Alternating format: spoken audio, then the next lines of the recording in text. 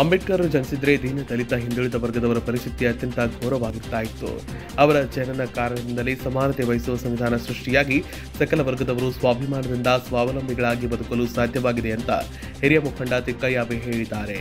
ಇಂದು ಬೆಳಗಾನೂರಿನ ಪಟ್ಟಣ ಪಂಚಾಯಿತಿ ಹಾಗೂ ಬುದ್ಧ ಬಸವ ಅಂಬೇಡ್ಕರ್ ಯುವಕ ಮಂಡಳಿ, ದಲಿತ ಸಂರಕ್ಷಣಾ ಸಮಿತಿ ಕರ್ನಾಟಕ, ದಲಿತ ಸಂಘರ್ಷ ಸಮಿತಿ, ದಲಿತ ಮಹಾಸಭಾ ನಾಮಫಲಕಗಳಿಗೆ ಪೂಜೆ ಸಲ್ಲಿಸುವ ಮೂಲಕ ಜರುಗಿದ ಡಾಕ್ಟರ್ ಬಾಬಾ ಸಾಹೇಬ್ ಅಂಬೇಡ್ಕರ್ ಅವರ ನೂರ ಮೂವತ್ತೊಂದನೇ ಜಯಂತ್ಯುತ್ಸವ ಕಾರ್ಯಕ್ರಮದಲ್ಲಿ ಭಾಗವಹಿಸಿ ಅವರು ಮಾತನಾಡಿದರು.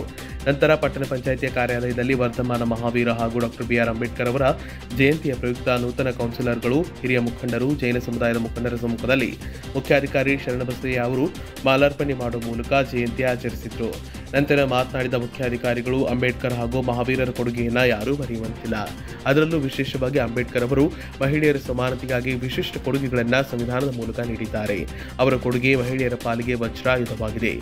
ಅವರು ಒಂದು ವರ್ಗದ ಜಾತಿಯ ಧರ್ಮದ ನಾಯಕರಲ್ಲ, ಅವರು ಎಲ್ಲರ ನಾಯಕರು, ವಿಶ್ವದ ನಾಯಕರು. ಅವರು ಬದುಕು ನಮಗೆ ಆದರ್ಶವಾಗಬೇಕು ಅಂತ ಮಾರ್ಮಿಕವಾಗಿ ವಿವರಿಸಿದರು. ಹಿರಿಯ ಮುಖಂಡ ಮಹಾಬಳೇಶ್ ಹಡಪದ ಮಾತನಾಡಿ, ಅಂಬೇಡ್ಕರ್ ಒಂದು ವೇಳೆ ಜನಿಸದೇ ಇದ್ರೆ ದೀನ ದಲಿತ ಹಿಂದುಳಿದ ವರ್ಗದವರ ಬದುಕು ನೆನಪಿಸಿಕೊಂಡ್ರೂ ಭಯವಾಗುತ್ತೆ ಅಂತ ಹೇಳಿದ್ರು.